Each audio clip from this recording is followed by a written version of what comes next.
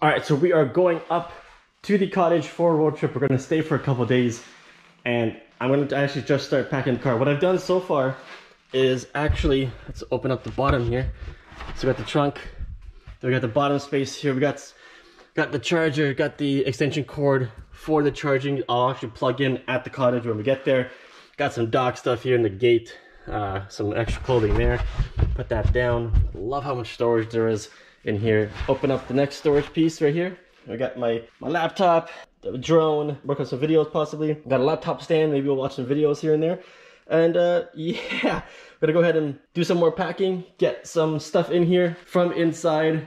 Uh, and yeah, I'll show you guys what it looks like after I'm done packing. Got the car currently charging to 100%. It should be ready uh, by the time we leave. We're leaving at 12 o'clock and it should be ready. I believe it's at 95%, so it should be ready by the time we leave, which is awesome. Don't need to go to gas station, just charge from home.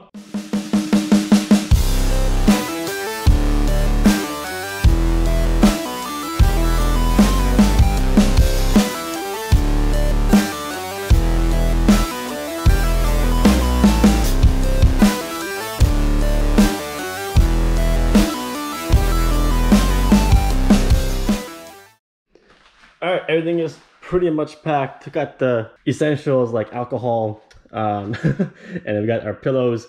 I've actually just taken the air cannon, the Ryobi air cannon as well, uh, and a little tiny fan. It's battery operated and electrical, so I can plug it in if need to. If it's really hot and humid and there's no breeze, it comes in handy, especially for dogs too.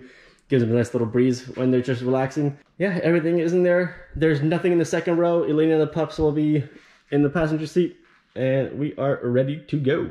All right, the car is now charged and it's fully charged. It's not flowing anymore. Got the notification on my phone. Let's go ahead and unplug.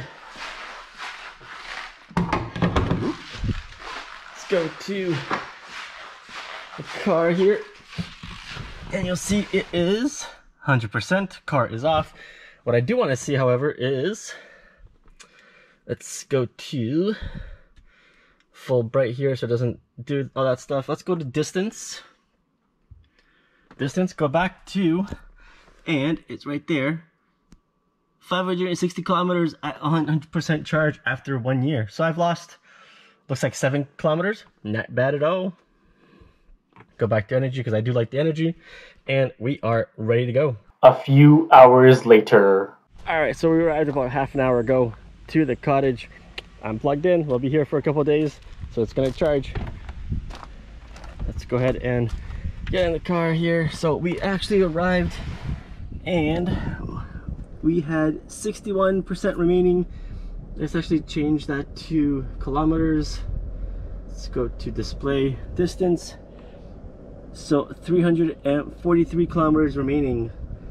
But like I said, we are now charging. It is a 120 volt. It's gonna take some time obviously because it's only gonna be doing five kilometers uh, of charge per hour.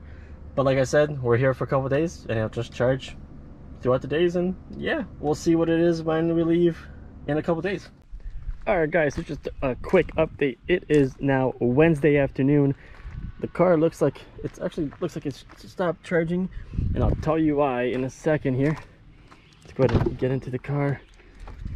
So yesterday I actually noticed that it was already at 85% and now it is at 90. It's at 90%. Charging is complete because what I ended up doing was, let's go over to charging. I noticed that it was actually going to finish charging to 100% before we were leaving yesterday.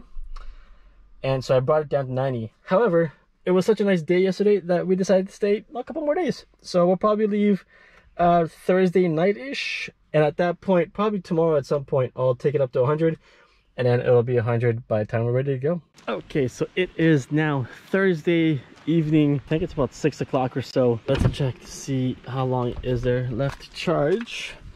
So we are at 97 percent. It's still charging. I do have to be honest i kind of forgot to actually put it on um, earlier today or start charging early today to 100 percent so it says we got another four hours. Obviously, it's it's a very low charge because I'm just charging right from cottage. Again, we've been here since Sunday and we've done about three or four trips down the road to a store to get some ice cream, got some food one night. And uh, yeah, the lowest I've gone to is probably 85% because we're always charging and don't have to go anywhere to get gas. So that's actually a huge positive. So we're about to leave. It is, what time is it now? It is 6.46.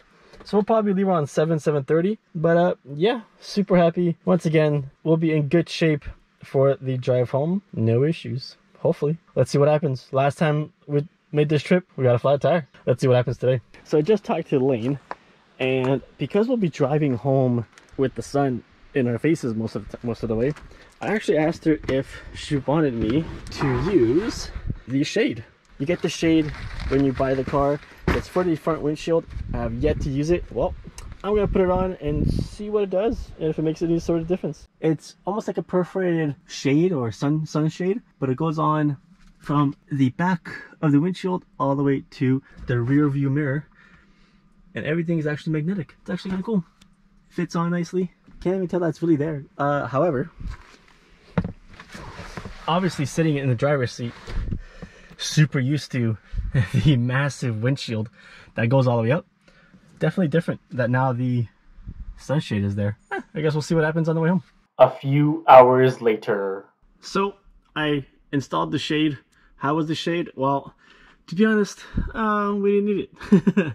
so basically by the time we got on the highway and started driving westbound towards Toronto, the sun was actually low enough where the trees were actually blocking it. So we actually didn't end up needing the sun visor, but it is super easy to install. It is super weird considering that you get used to the massive windshield, but no issues driving home or anything like that. And I'll just take it off and put it back in the trunk and maybe use another day. It is 11, 12 p.m. and we're home.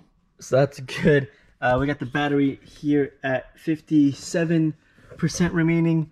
The car is off obviously because I just parked it. I actually left with the battery at 97. Didn't end up waiting or anything like that. And uh, yeah, it was a good trip home. No issues or anything like that on the way home. Got all the stuff still in the back.